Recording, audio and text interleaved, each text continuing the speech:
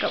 Here we have um, assorted lovebirds, ranging in age from September of 2014 until January of this year. We have approximately 12. Hey, you, come back here. You don't like the camera. You're afraid of the camera, aren't you? Very sweet little birds. They make excellent apartment birds.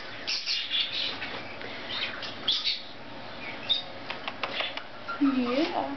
Our lovebirds have been hand-fed or are still weaning, being hand-fed, I'm sorry, by Corbett Birds. For more information on these lovebirds or any of our other lovebirds or any of our other birds, please go to They're afraid of the camera. Our Facebook page at Corbett Birds or our YouTube channel, Corbett Birds, or you can go to our website, which is currently under construction at www.corbettbirds.com.